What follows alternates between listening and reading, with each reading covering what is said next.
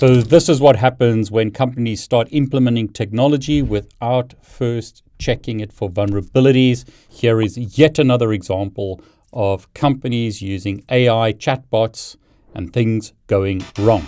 Critical flaw plagues Lenovo AI chatbot. Attackers can run malicious code and steal cookies. This is from the CyberNews website. The friendly AI chatbot greets you on Lenovo's website and is so helpful that it spills secrets and runs remote scripts on corporate machines if you ask nicely. Massive security oversight highlights the potentially devastating consequences of poor AI chatbot implementations. The chatbot was affected by a critical cross site scripting vulnerability, which enabled attackers to inject malicious code and steal session cookies with a single prompt. The flaws could potentially lead to data theft, customer support system compromise, and serve as a jump board for lateral movement within the company's network. Improper input and output sanitization highlights a need for stricter security practices in AI chatbot implementations.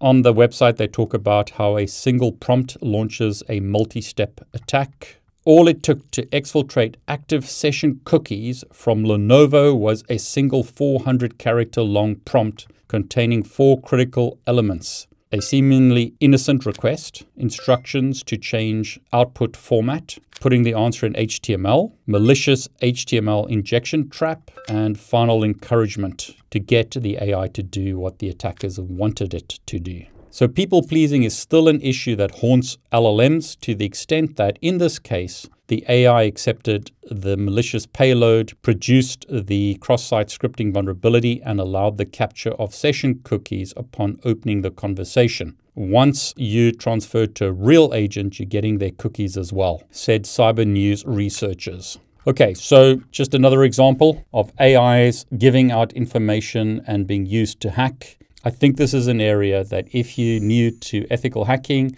and cybersecurity, you should focus on so many opportunities because companies are just deploying this stuff and not putting the correct guardrails in place, or attackers are finding ways to circumvent those guardrails. Companies need people like you to help them improve the security of their AI implementations. Fantastic opportunities for a lot of bug bounty hunters and red teamers. But what are your thoughts? Do you think it's a good idea that companies are implementing artificial intelligence like this? And is AI actually intelligent?